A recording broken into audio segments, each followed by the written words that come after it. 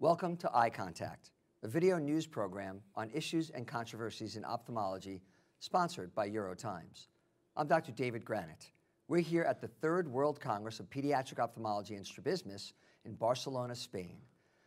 This year, Lionel Kowal from Australia gave a keynote lecture discussing current issues on strabismus. We're so lucky to have him here as a guest. Dr. Kowal is director of the Ocular Motility Clinic at the University of Melbourne in Australia, and he's going to be chatting with us today about controversies, developments, and what he's learned in his career in strabismus. Welcome. Thank you, David. Lionel, yesterday you gave a tour de force lecture on what you have learned in a career of strabismus, dispassionately going through what you have uh, done over your last 20 plus years. Uh, and, and you hit on some of the things that you noticed might go wrong. What, what kind of categories did you notice might go wrong in strabismus? The, um, the biggest issues with things going wrong are that we still today in the 21st century don't understand a lot of the reasons why strabismus happens. Uh, so we know there are anatomical reasons, things, uh, muscles aren't built correctly. We know there are brain and developmental issues. We know there are genetic issues. And we still haven't teased all those factors out. It's all slowly happening. Uh, in California, Joe Demer has revolutionized our understanding of subtle aspects of the anatomy of the orbit. Um, and that's really uh, providing a whole new level of understanding of why strabismus happens in some people.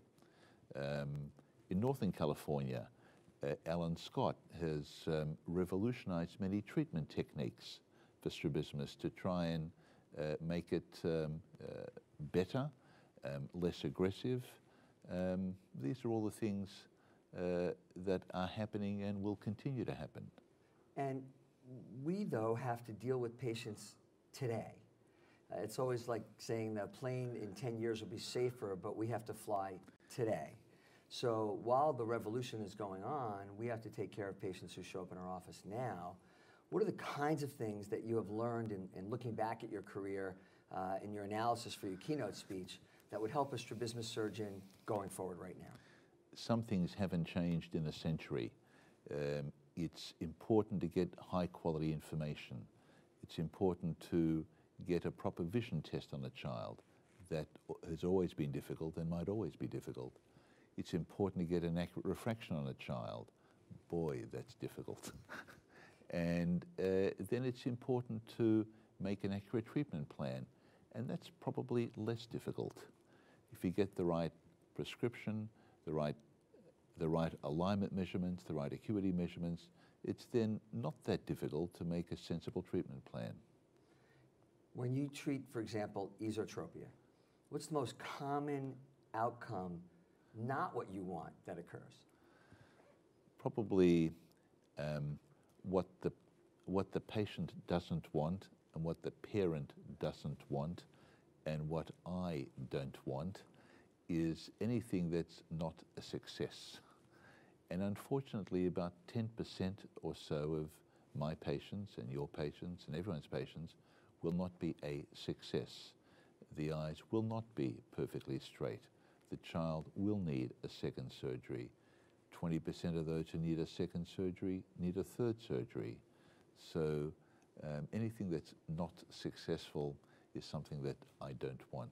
Do you find an undercorrection or an overcorrection in that setting, or an underresponse or an overresponse in that setting? Um, in, uh, in childhood, the commonest bad outcome is an underresponse, uh, an undercorrection.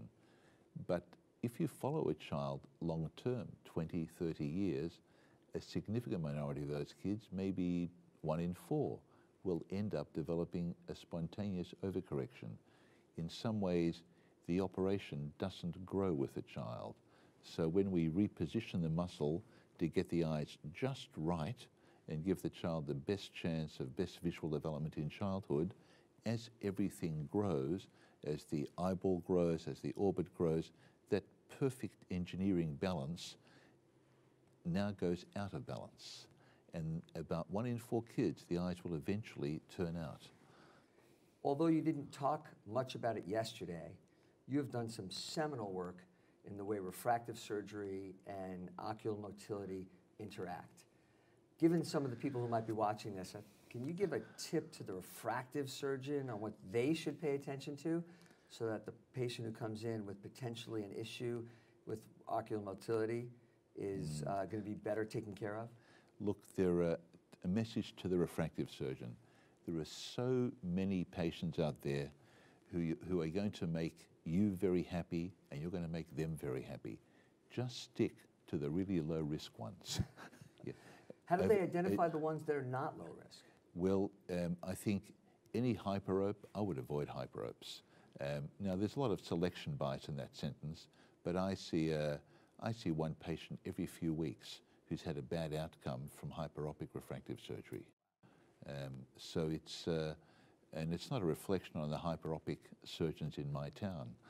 Um, I think it's just that the uh, um, refractive surgeons tend to think that hyperopia is the mirror image of myopia, but it's not. No. And um, hyperopic uh, patients are more likely to have lots of other issues. Um, so avoid hyperopes. Um, low myopes uh, who are orthotropic and who haven't been given prisms in their glasses, um, they, they do brilliantly, as you know.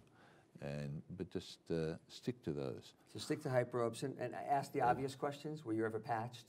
You know, did you ever um, have eye muscle surgery? Uh, and that can save them quite a bit. Yes. Uh, there are going to be people who are out there thinking about a career in pediatric ophthalmology and strabismus, something you've committed your life to. What well, would you say to the, the young ophthalmologist considering PONS as a career? Well, you're going to have a great time. Um, uh, I started, I did my fellowship 27 or 28 years ago. And what I, uh, what I just didn't know at that time was that 28 years later, I go to the office every day knowing that I'm going to interact with young children and their parents. And that gives me so much joy and it's so much fun and it keeps me very real. and so uh, I didn't understand 28 years ago that how good that was going to be. And it's still really good. Thank you so much for sharing your passion and joy for making a difference for children and adults with strabismus uh, not only here at the World Society meetings, but on the eye contact program. Thank you. Thank you, David. Thank you for joining us. For more information on this and related topics, visit us at eurotimes.org. I'm Dr. David Granet. We'll see you again next time right here on Eye Contact.